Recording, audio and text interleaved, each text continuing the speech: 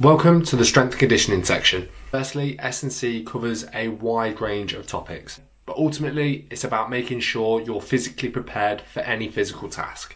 As you know, the marathon is an incredible 26.2 miles of running. That in itself is a major feat, but let's not forget the amount of running that's involved from the training for it.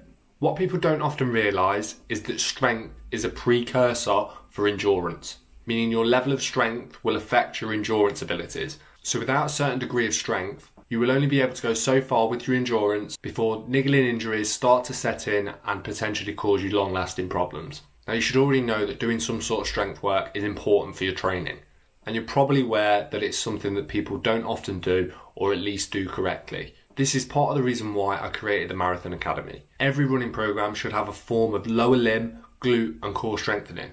Now, all of my training programs have this in them and they fit in seamlessly without having to add in tons of workouts. But this section of the Academy will have all those workouts and programs for you to look and use as you will.